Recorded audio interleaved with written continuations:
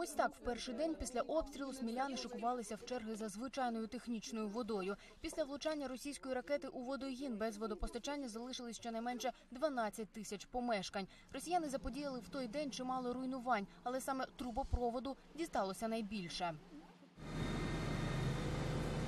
Перші чотири дні після нальоту людей забезпечували виключно привозною водою. Та коли комунальникам вдалося усунути пориви на мережі, воду почали подавати за графіком. Оце зараз поки е, є вода, зараз теж треба запастися водою. Ну, тепер на день мені досить вистачить на день. Ну, А завтра буде день, буде їжа, як кажуть.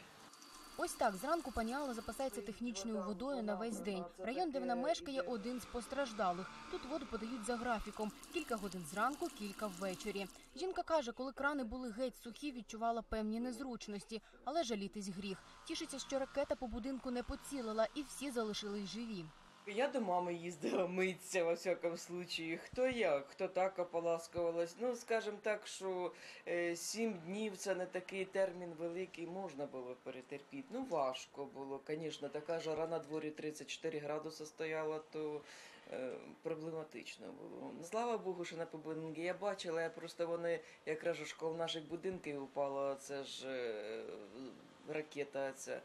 Терпіти незручності смілянам залишилось недовго, запевняють в мерії. Більшість монтажних робіт з ремонту водогону комунальники вже провели. Їх затримка полягала в складності, адже ракета поцілила прямісінько в трубу головної мережі. Зараз робітники намагаються стабілізувати тиск в водогоні. Там труба лежить не в землі, а в тунелі. От, тунель повністю, всі труби від вибуху, всі труби були завалені, тому що вибухова хвиля пішла по тунелю. Їх треба спочатку витягнути. На момент, коли ну, ця подія склалась, у нас вже були пусті резервуари, і система була повністю пуста. Треба набрати повністю систему і резервуари, щоб ми могли подавати її цілодобово. От ми вже підходимо до того, що це вже процес закінчено. Цими вихідними в мерії обіцяють повністю відновити цілодобове водопостачання в постраждалих районах. Діана Левченко, Станіслав Кухарчук, В'ячеслав Ромодан. Подробиці телеканал Інтер. Марафон. Єдині новини.